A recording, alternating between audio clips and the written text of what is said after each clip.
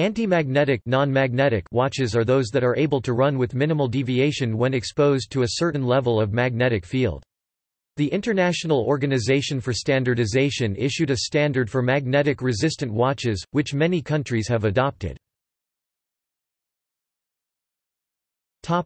ISO 764 magnetic resistant watches standard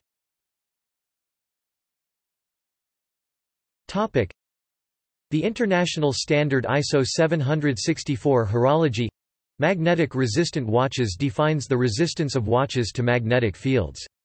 According to ISO 764 or its equivalent DIN 8309 Deutsches Institut für Normung, German Institute for Standardization a watch must resist exposition to a direct current magnetic field of 4800 A per meter. The watch must keep its accuracy to plus or minus 30 seconds per day as measured before the test in order to be acknowledged as a magnetic resistant watch. Annex A of ISO 764 deals with watches designated as magnetic resistant with an additional indication of intensity of a magnetic field exceeding 4800 A per meter. There are two ways of building an anti-magnetic watch. The first way consists of making the moving parts of alloys chosen to be insensitive to magnetic fields. These alloys include Invar iron nickel carbon chromium alloy, Glucydur beryllium bronze alloy, Nivarox iron nickel chromium titanium beryllium alloy and Elinvar an alloy similar to Invar, though less resistant to magnetism and more resistant to thermal influence. These alloys are preferred by different watchmakers due to their differing properties. Since the 1950s, Nivarox and Glucydur were extensively used by watchmakers. In the 1960s, almost all Swiss watches had Glucydur balance and Nivarox hairsprings. The anchors, escape wheels and other watch mechanisms were also made of non-magnetic metals or alloys. Another way of making a watch non-magnetic is to house the entire movement into a case made of a highly permeable magnetically conductive material. The movement is covered by an additional soft iron clasp to prevent the forming of magnetic fields inside the watch itself. History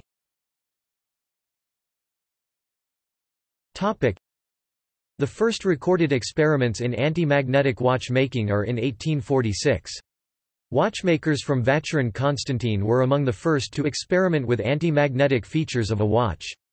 However, they succeeded in assembling the first anti-magnetic watch only several decades later. That watch was able to withstand magnetic fields because some of its parts were made of non-magnetic metals, the palladium-made balance wheel, balance spring and the lever shaft. In 1896 Charles-Édouard Guillaume discovered the nickel-based alloy Invar. Afterwards, in 1920, when he received the Nobel Prize in Physics, he developed another alloy, Elinvar. These alloys assisted in the assembly of anti-magnetic watches. Invar and Elinvar are able to resist magnetic fields, allowing the watch to continue to keep accurate time. The first anti-magnetic pocket watch was assembled by Vacheron Constantin in 1915. Later, in 1929, Tissot assembled the first ever non-magnetic wristwatch. Usage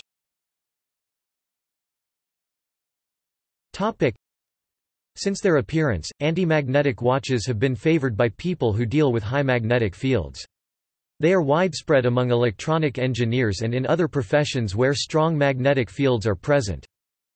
Today, even divers' watches according to ISO 6425 must be anti-magnetic as well as being water-resistant, sufficiently luminous, shock-resistant and have solid straps.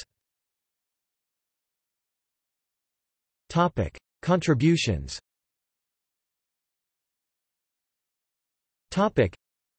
After discovering the alloys for assembling anti-magnetic watches, many watch-making brands utilize such materials in production in order to improve the performance of such timepieces. IWC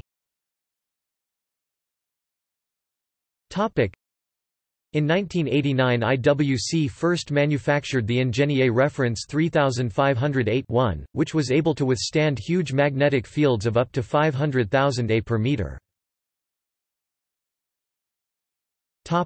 Omega The Omega anti-magnetic Seamaster was announced 17 January 2013 e.g. Seamaster Aqua Terra greater than 15,000 Gauss. According to the press release, the Omega movement does not rely on a protective container inside the watch case but on the use of selected non-ferrous materials in the movement itself. The Omega prototype was subjected to 1.5 Tesla 15,000 Gauss and continued to perform. Testing showed that the watch was as accurate after its magnetic exposure as it had been before. Topic: Rolex.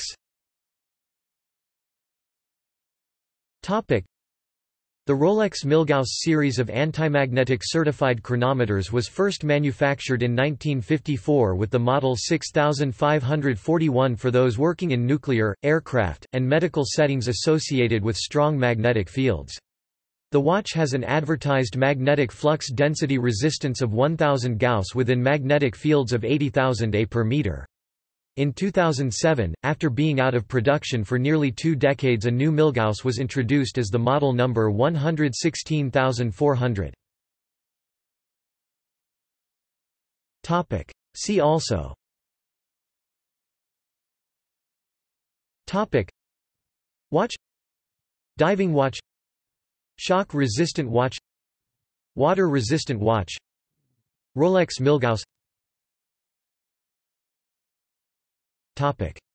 References